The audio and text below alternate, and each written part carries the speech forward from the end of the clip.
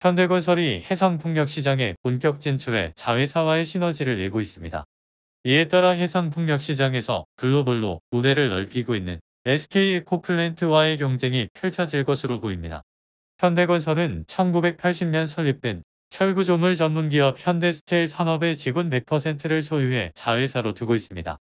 현대스테일 산업은 해상풍력 하부 기구조물 제작 설치와 상부 터빈 설치, 유지 보수 등 해상풍력 건설 공사의 전 과정을 수행할 수 있는 역량을 보유하고 있습니다. 해상풍력 기초 제작 부문 시장 점유율은 97%에 달합니다. 지난 2017년 준공한 제주 탐라 해상풍력발전단지와 서남의 해상풍력 실증단지 등의 설계 구매 시공에 현대건설과 함께 참여하기도 했습니다. 현대건설은 자회사 현대스텔 산업이 보유한 경쟁력을 바탕으로 국내 해상풍력 시장 공략을 가속화하고 있습니다.